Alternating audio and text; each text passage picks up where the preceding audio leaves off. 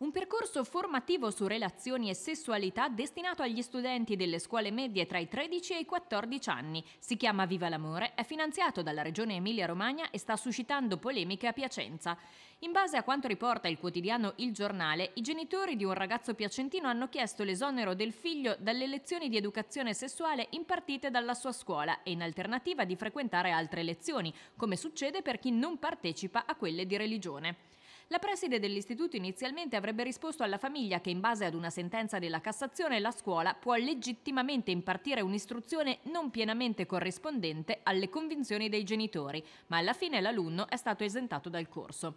Lega Nord e Fratelli d'Italia si sono scagliati contro il progetto. Il consigliere regionale Tommaso Foti di Fratelli d'Italia è intervenuto attraverso la presentazione di un'interrogazione alla giunta regionale. Il libretto distribuito alle famiglie, si legge, contiene istruzioni molto esplicite con tanto di illustrazione informazioni sull'uso dei contraccettivi maschili e femminili, sezioni dedicate alla masturbazione e questionari sulle trasformazioni della pubertà. Foti disapprova l'iniziativa. Meglio utilizzare i fondi, dice, per altre soluzioni, volte ad esempio a diffondere la conoscenza del dialetto, delle tradizioni locali e dell'educazione civica, conclude.